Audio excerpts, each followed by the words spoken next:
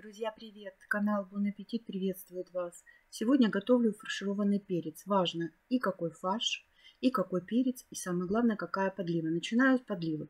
Натираю две небольших морковки, ставлю тушить. Готовлю в это время перец. Чищу его.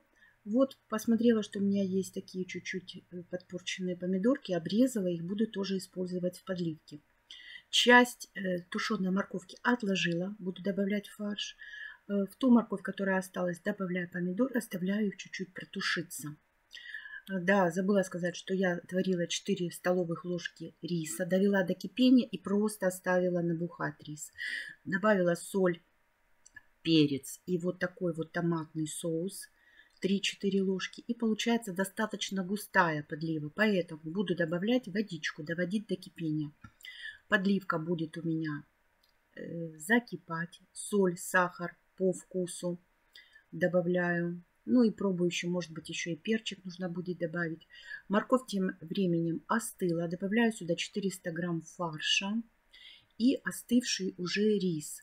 Вилочкой разминаю, но как бы хорошо я не разминала вилочкой, все равно я все это потом пере, перемешиваю, мешаю э, руками.